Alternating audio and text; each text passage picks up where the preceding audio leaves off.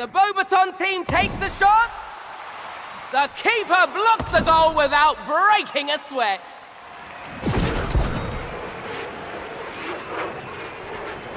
The quaffle is passed. There goes the shot. nice save.